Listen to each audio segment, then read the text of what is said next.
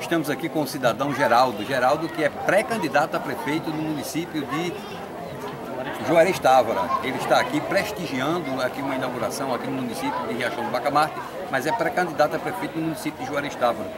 É... Geraldo, com relação à sua pré-candidatura, como você justifica essa iniciativa, esse desejo de conduzir os destinos do tão amado município de Juarez Távora? Ah, eu Inicialmente eu quero dizer para você que para mim é um sonho na minha vida de poder fazer alguma coisa pra, por alguém. E a razão de que eu ser um pré-candidato aqui no meu município é por conhecer realmente a necessidade que tem hoje o nosso município. Um muito carente e sentindo uma administração que não vem atendendo a ansiedade da população.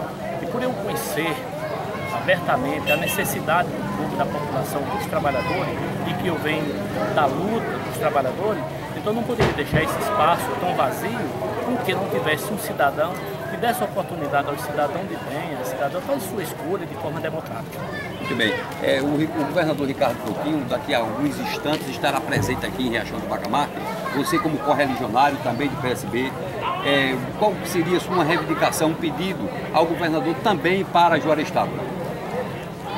Ao governador, a gente sabe que é um grande governo, um governo que tem feito para a Paraíba toda, e então hoje a gente tem uma grande necessidade, é um sonho que o Juarez está tem, inclusive logo mais, com uma equipe lá muito forte, mostrando ao governador a necessidade, clamando ao governador a necessidade de uma grande escola que é o nosso, na nossa cidade. Na nossa cidade tem um colégio de Adalto, se você chega lá, você conhecer a realidade, não só nós, mas qualquer uma autoridade desse estado vai entender a necessidade onde os alunados é o sonho na vida. Um número de alunado muito grande e o espaço físico muito pequeno. Então esse é o número um, só sabe do governo Ricardo Coutinho, que é um governo que tem é, tido suas ações em todas as cidades da Paraíba. Então, para Juarestado, deixo a nossa reivindicação, a reivindicação da população, a reivindicação da liderança. Em primeiro lugar, número um, é o Colégio João